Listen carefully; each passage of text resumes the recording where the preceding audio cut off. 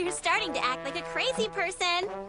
I have to find him and quickly. If I don't, the press is gonna skewer him when he doesn't even remember anything. Oh, you got me heart and soul.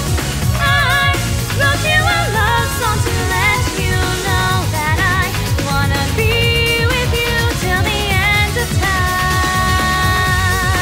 Sagitta Magica Una Fulgoris!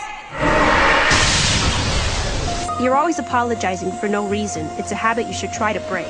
And besides, in times like these, I should be saying thank you, Nodoka. You better watch it, you little spazzes. I don't care if you're cute and perky, okay? I'll mess you up two at a time.